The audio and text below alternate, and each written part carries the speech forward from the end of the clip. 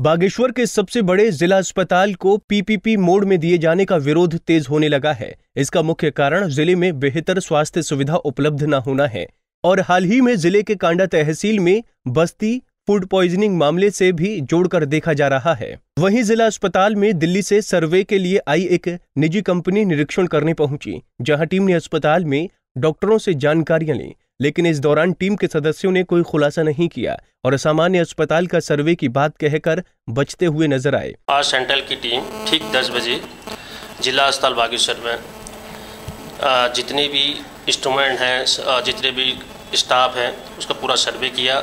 जहाँ जो कमी हुई उसके अपने जो निष्कर्ष निकाल और ओटी और लैब किस तरह का कि बताया जा रहा है क्या कुछ कमी पेशी हाँ जो भी कमी पेशी आई उसमें सेंट्रल गवर्नमेंट उसमें जो भी हेल्प करेगा ये। ये सर्वे के दिन तक चलेगा? सर्वे दो दिन तक चलेगा ज़िले में किसी डिस्ट्रिक्ट हॉस्पिटल अन्य के ना ना चमौली पिथौरागढ़ उत्तरकाशी अल्मोड़ा बागेश्वर। इस दौरान नागरिक मंच के अध्यक्ष पंकज पांडे भी जिला अस्पताल पहुँचे।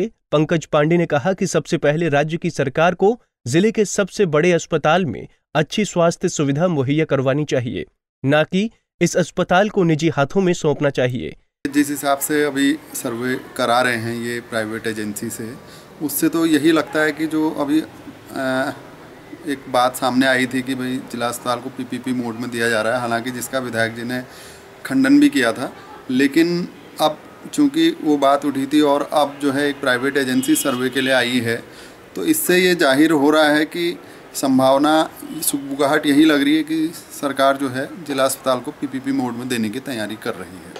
हमारे सरकारी स्वास्थ्य सुविधाओं को, सरकारी अस्पताल को, निजी लोगों को देने का हम बिल्कुल विरोध करेंगे। और, ये होना भी नहीं चाहिए अगर, क्योंकि पूर्व में कपकोट में है या अन्य जहाँ भी प्रदेश में पीपीपी मोड में दिए गए हैं, थे अस्पताल, वहाँ बहुत ज़्यादा अव्यवस्था है, लोग उसका भारी विरोध करते हैं अभी। बिल्कुल इसका पूरी तरह से विरोध किया जाएगा। इसके साथ ही नागरिक मंच के अध्यक्ष ने कहा कि अगर राज्य सरकार पीपीपी मोड पर जिला अस्पताल को देने का कदम उठाती है तो नागरिक मंच और स्थानीय जनता सड़कों पर उतरेगी। उतना ही नहीं, ज़रूरत पड़ने पर हाईकोर्ट की मदद भी ली जाएगी। पंजाब केसरी टीवी के लिए बागेश्वर से जगदीश उपाध्याय की रिपोर्ट।